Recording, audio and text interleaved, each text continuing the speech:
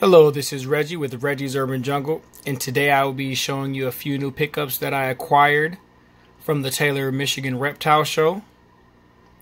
I acquired a female calico and a female pastel hidden gene Woma.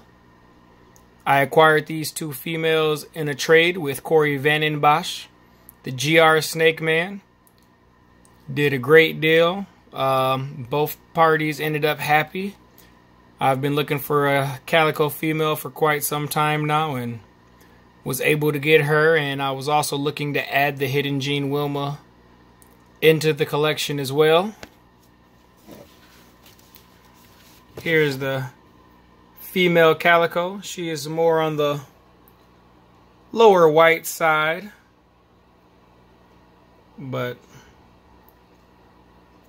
good example of the morph. Excited to have her into the collection.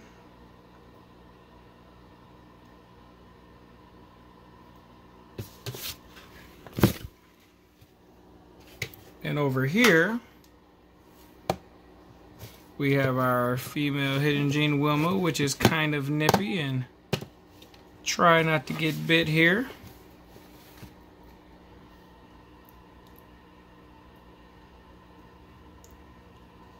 This is our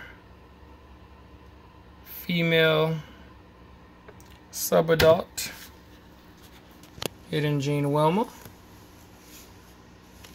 So these are my two new pickups. Thought I'd do a quick video on them.